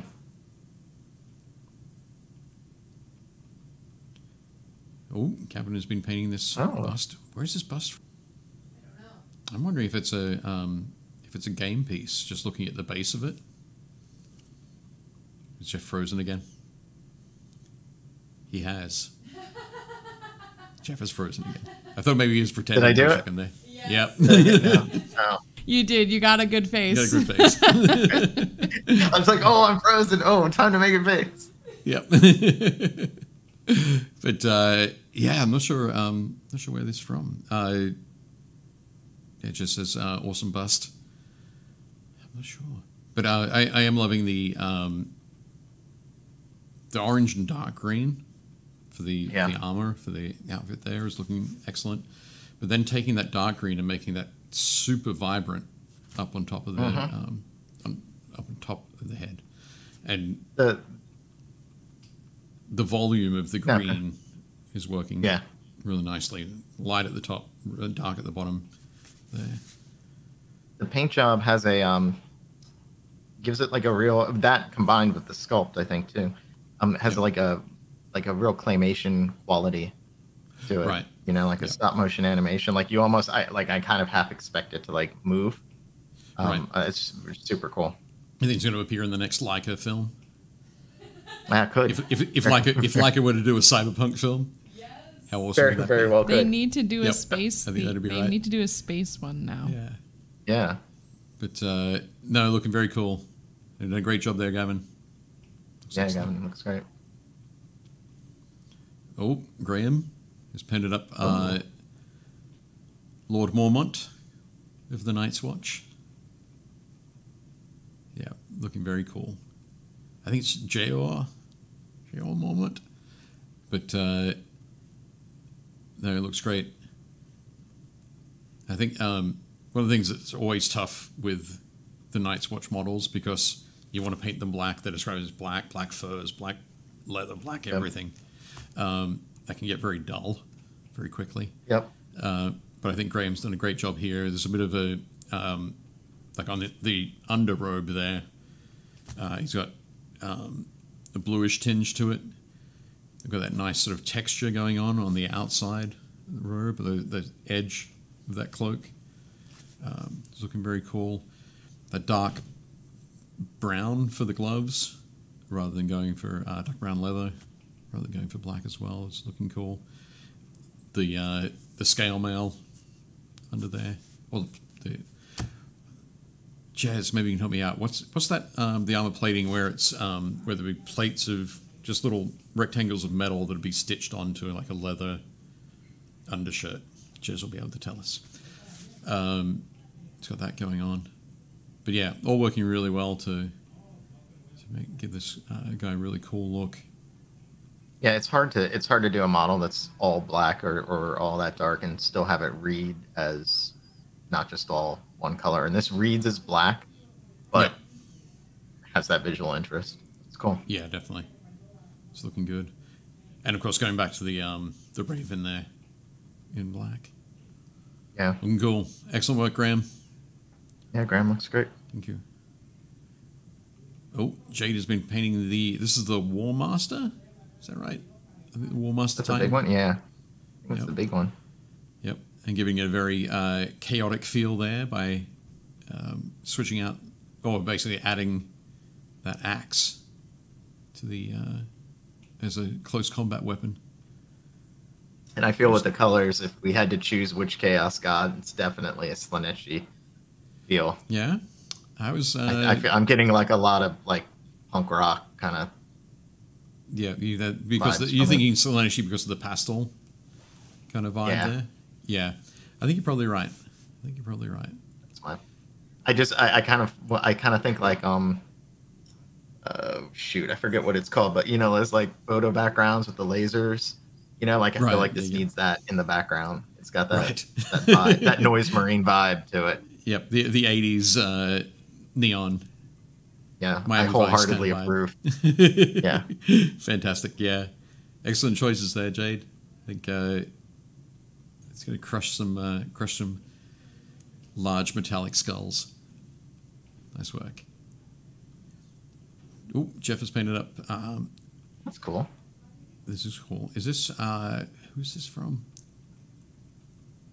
This kid's for some reason I think um I want to think that we've painted a, a version of this character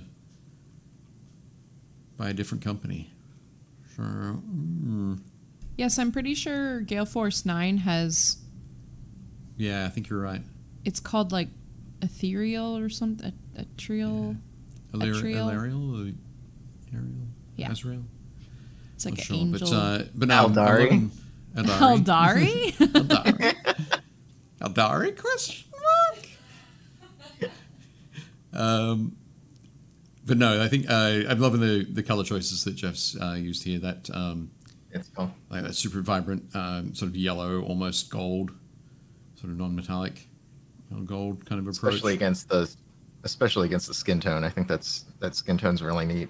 Yeah, it is. It Behind is the gold. great. It's uh, it's beautiful in there. Just everything. It, the skin tone pops against the gold, and the gold pops against the skin tone. It's looking really Yeah. uh, very neat. Excellent choice there, Jeff. Great execution. Oh my goodness. this will be this will be the last one for now. okay. So the other ones we'll look at next week. Okay, radio. Cool. Uh, so yeah, Josh has done an awesome job on this. Um, this is a is this a Namarti Reaver? I don't know. It's from the uh, I don't know don't for Age of Sigmar. This is one of the I love the choice. I love the Yep. choice of the red skin Yeah. over it. Like that's not something you typically see on these models. I, maybe it is. I don't know. I, I, No. I haven't seen a ton of these models, but I don't think it's uh, typical, at least not from the box art.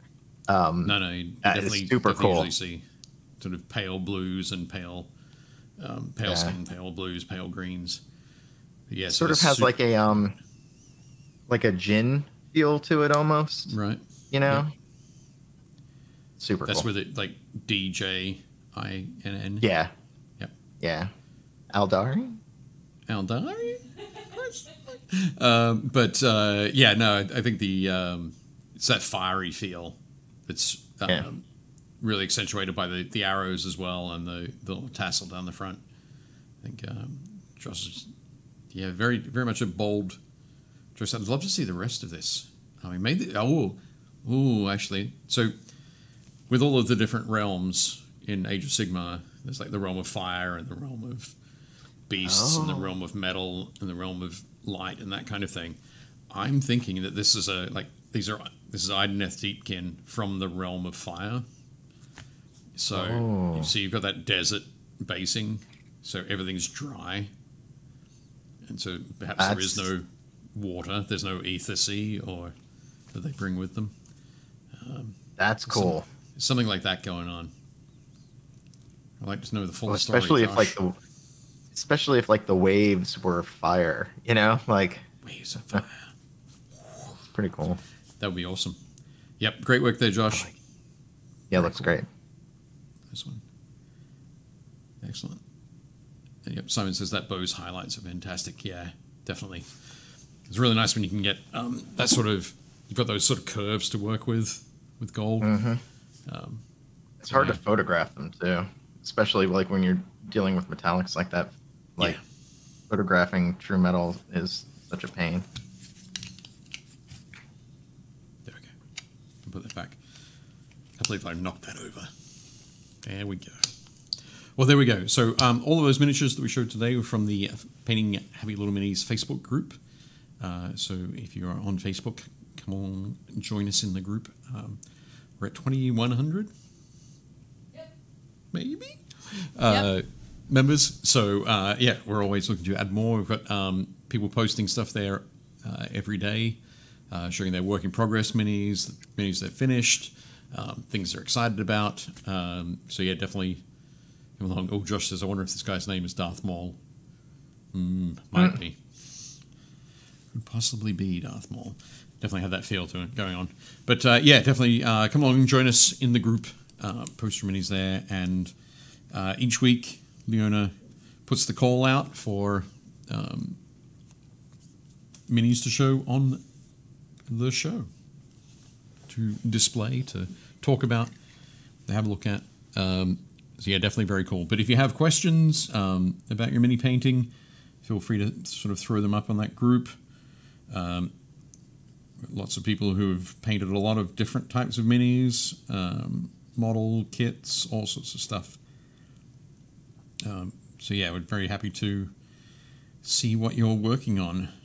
It doesn't have to be Space Marines. It doesn't have to be D and D minis. It can be anything. Absolutely anything. It can also be those. It can be Space Marines. Can be D and D minis. We're happy to look at everything.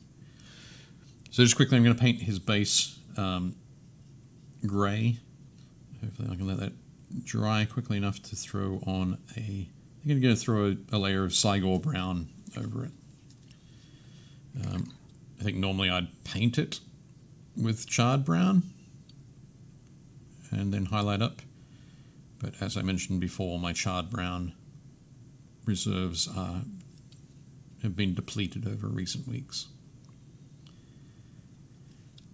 So I can't just go throwing it around on bases willy nilly. have to ration it. I do. It's tough. Tough. I did bring in a couple of other minis that I've been working on as well.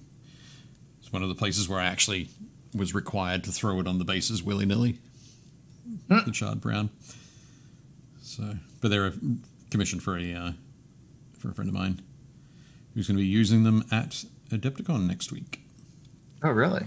So, yeah, yeah. Originally, when we talked about it, I was like, when do you need these by? And he goes, ah, you know, whenever. And then he sent me a text last week to say, hey, how are they going? I said, well, you know, however.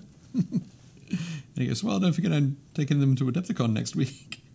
I was like, oh, I, Well, they're going guess I- great then in that case. I guess I misunderstood. let's uh, let's get on that. So I might pop those on the spinner just as. Well, actually, no. I can hold them up here, and this camera, while I let that grey dry, so you don't have to watch paint dry. Oh, there we go. Let's get that out of the way. Oh wow! I need to do a little bit of work on touching up some of those base edges. But yeah, this is a uh, Orruk Gore Grunter. Oh, cool. Let me get this. There we go. So a big ball boy for uh, the Orruk War clans for Age of Sigmar. Oh, he looks super cool. So it looks neat. On the um, here in the studio, we have a huge monitor. It's like massive. So I'm seeing every single brush stroke and thinking, oh, maybe I should have glazed that area. But uh, yeah, this was a lot of fun to work on. I got to paint uh, 12 of these guys Whoa. in the past in the past week. So I'm going to turn it around this way. Yep, turn him face up. He's cool. Yep, three of them have got uh, this sort of white, this pale grey white fur. Three of them have black fur. Three have like a mid grey, sort of a brownish grey, and then three have got brown fur. So that he can easily differentiate them on the on the tabletop. He knows which which models are from which unit. But, Now, did he give you the the color scheme that he wanted, or was that your creative?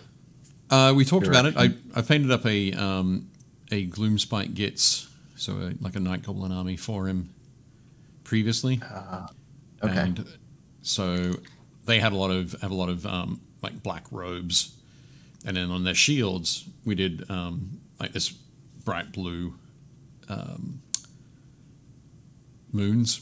So all of the moons Mm-hmm. on the shields were done in this bright blue. So when it came to doing big armor plates, it was like, well, let's just do those in bright blue. yeah. So Oh, it looks cool. Pretty cool. It's quite neat. Battle damage then, on the armor looks awesome. Yeah, it worked out okay, I think. It was one of those tough things because normally I'd go through and I'd stipple with like a brown, with like charred brown, but that wasn't wasn't going to show up too well against the uh, the blue, Yeah. so I had to go for that sharp edge sort of damage, I like it. but it worked out well.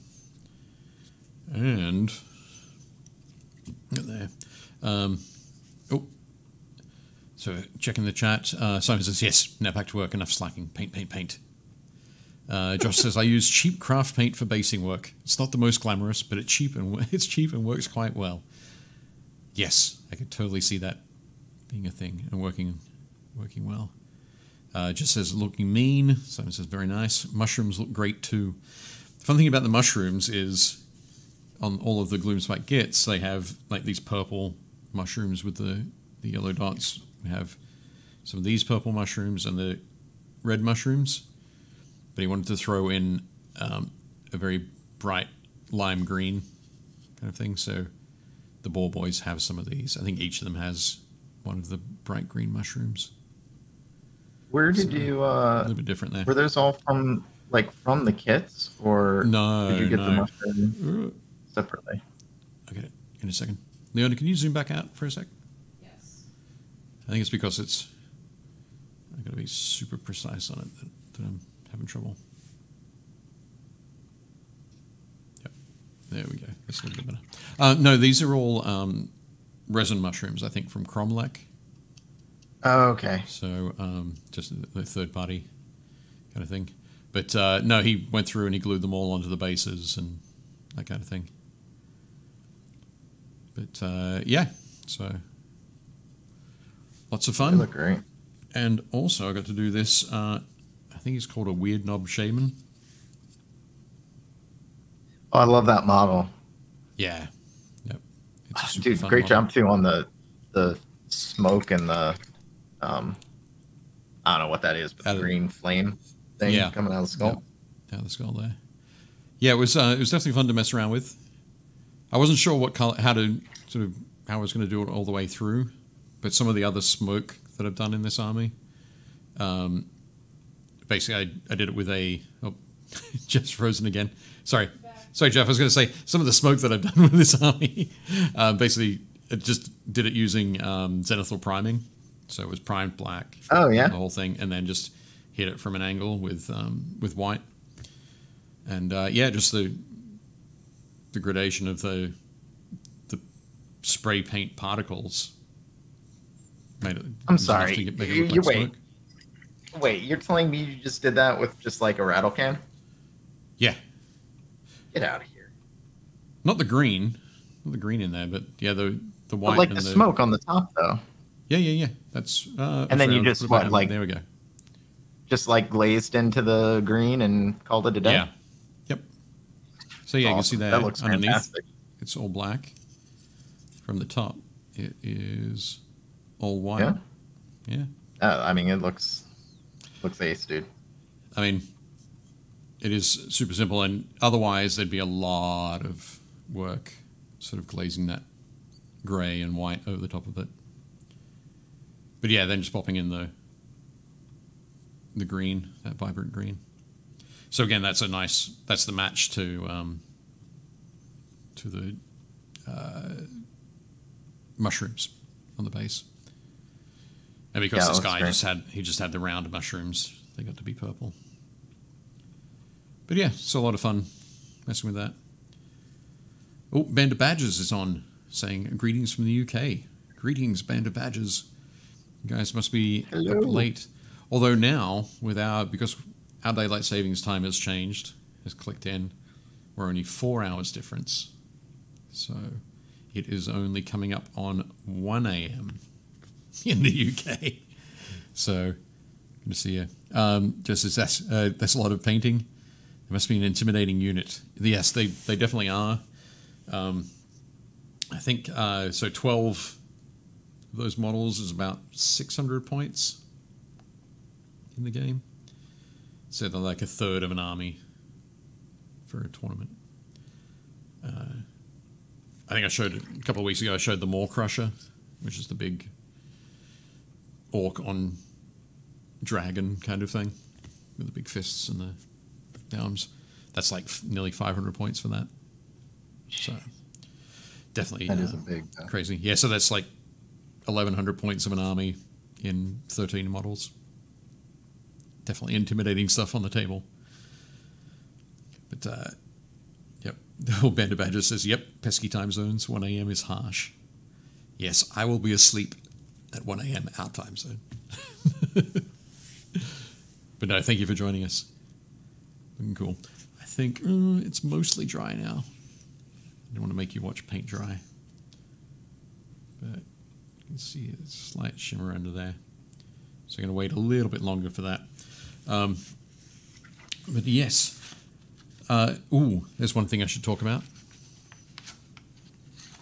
One of the things that we're going to start doing, Leona has had a great idea. We're going to have, um, I'll move that underneath now. Uh, we're going to have, add a new segment to the show called Hobby Hangout. Um, I know that we've, I think we've called some of our shows from home Hobby Hangouts before. But uh, essentially, what Hobby Hangout is going to be is we're going to ask you to send photos of uh, you at your local gaming store. Where you, uh, if and if they have a, a hobby area where you, maybe you can sit down and do some painting, you can show us that. You can show us their vast selection of your favorite game, your favorite miniatures, um, their wonderful paint racks, their gaming area, if they have a gaming area, um, events going on, that kind of thing. But we want to see people in their uh, local hobby store environment because we think that'd be pretty cool. I was gonna say like your native habitat. Yep. Exactly. Or your uh what's the thing that I think uh, Rick used to use the term third place. So it's not the place you work, it's not the place you live, but it's your third place that you spend a lot of time at. I kind of like that that terminology. It is kind of funny kind of goofy, but um, I do like it. So yeah, show us uh, some photos of your local store or a photo, uh, and I think rather than showing like ten or twenty or thirty each week, we'll just be showing one. We'll pick one each week. Exactly. To, to feature. So um, I think that would be very cool. Uh, on on my notes here, it says take a selfie. Um, but if you would Let me take prefer, a selfie. You. Um, wait. Wait, are we doing that now? I don't know. Can we? Oh wait, I need to flip. I don't we know if this is gonna work. Wow, this is very meta right now.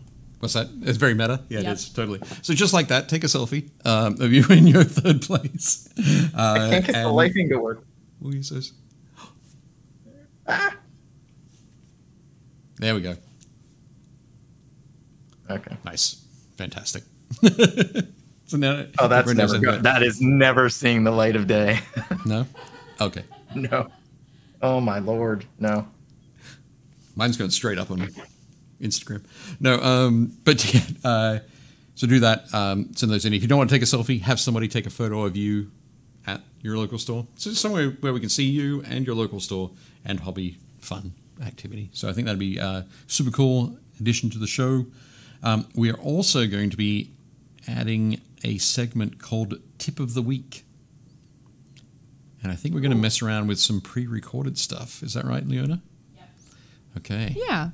So um, that's that'll be uh, basically where I, I sit here. I come in before the show. We film a little bit, um, or we film a little bit. Some it's sometime around the show, uh, and then the following week or in the following weeks they'll be shown. Uh, so if you have some little um, tips or tricks that you're interested in learning, or if you have some that you can let us know and that I can replicate on video. Um, that we can show, uh, we will be doing that as well. So, bunch of fun stuff coming up. But how is it looking there, Jeff? It's Yes. slow going. I am kind of uh, experimenting. cool. Just uh, with some um, sort of blending. Do those ni- Yeah. it's nice and smooth. yeah, I'm just trying to figure out how bright I want these. sort Okay. of- how bright I want everything to go. Yep. And then the bottom, I'm not worrying about too much. I'm just trying to like set in some basic highlights because all this stuff is going to get glazed over with a green Oh, okay. shade glaze thing anyway. Okay, so you're um, going to do it that way. You'll paint, kind of paint everything blue and then glaze with the green rather than Yeah. through the to a green. Exactly, and and the, the reason why not only is it faster, um, but the reason why when you're doing this kind of scheme, or the reason I really like to do it, is because what um what you'll find is when you get down to the lower parts of the armor and you do that, um, you can let uh, like you do it in a couple of layers, and maybe you get it heavier in green in some places and have and lighter in others, and you let more or less of that blue show through, and it gives Okay. it that almost kind of like pearlescent kind of look to it. Okay. Which is- so it, ha- it has a variation to it that's like a deliberate Yeah. variation to it. So yeah, let me see if I I think I've got a couple of the the test models here. This is a good example. This is darker than these guys will end up being, but it's an example of kind of what the Oh, okay. oh, come on. So you Yeah. can see how it gets down to the green there, but then if you look like you can still see the blue showing through on various Yep. pieces of it. Um, it's kind of dark in here right now. This light's not helping me out that much, but turn this up a little. Hello. Maybe Cool. This way. Yeah. There we go. Yep. Yeah. Anyway. Um. Yeah. Anyway, so Cool. that's the idea. Okay. Now that's looking neat. Very nice. Yeah, it's just painstaking because like I'm trying to preserve as much of the base coat or the primer coat around it as possible, and I wasn't accounting for how long it was going to take to do the under bits. Right. That can be tough. You think if you're, um, it'd be a bit faster if you had, uh, if you were going for like a darker cloak. Yeah, it absolutely would have been. because you you wouldn't have been as worried about getting paint on the Yep. that white. Right. Exactly. And in a long line of Jeff decisions that make things harder for him. This is What what I'm hearing you them- saying is that the unit of five rangers is going to be sufficient for the army. And that will be all the army will have, yes. Right. Yep.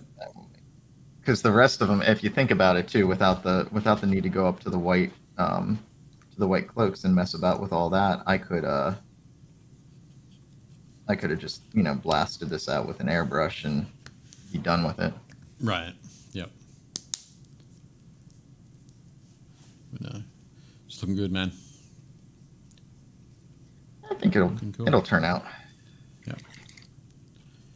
Excellent.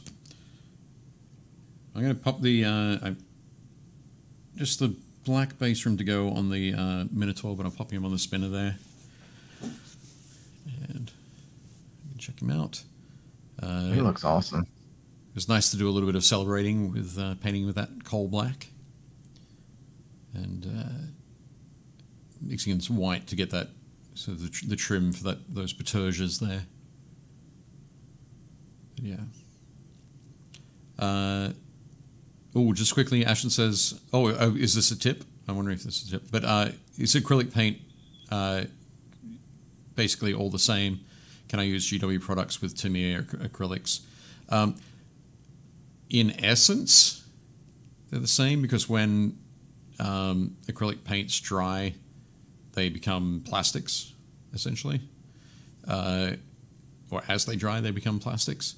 The um, there will be differences in the medium, so the liquid that's carrying the pigment.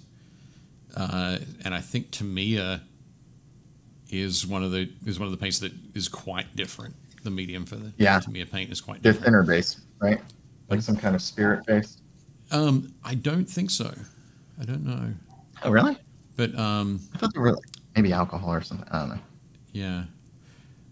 But uh, but it is different to uh, so GW medium is very similar to the Army Painter to Vallejo to Scale seventy five to uh, Pro Acryl that kind of thing.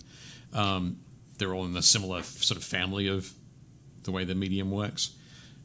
Tamiya sets outside of that, so you might find some struggle to blend, like to mix the two. Uh, but putting one over the top of the other, if the first layer is dried, shouldn't be.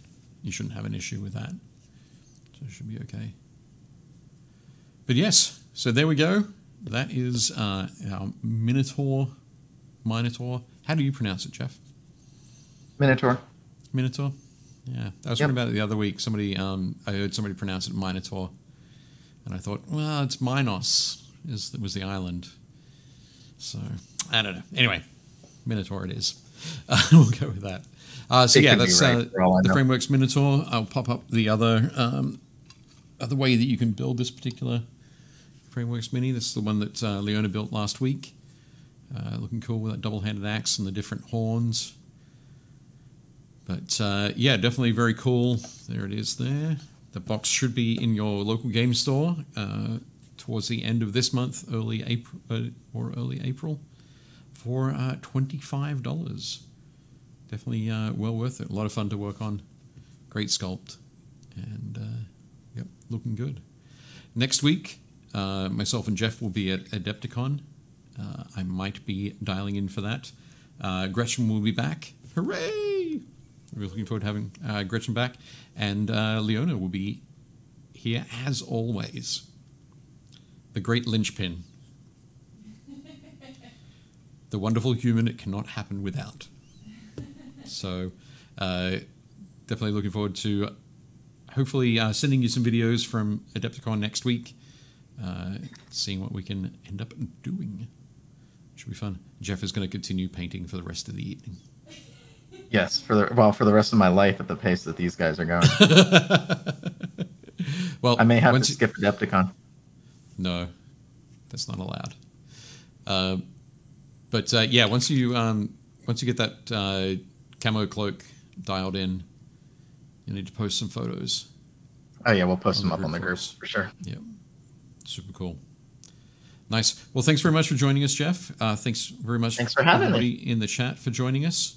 Um, we will uh, say good night and uh, see you all next week. Same bat time, same bat channel.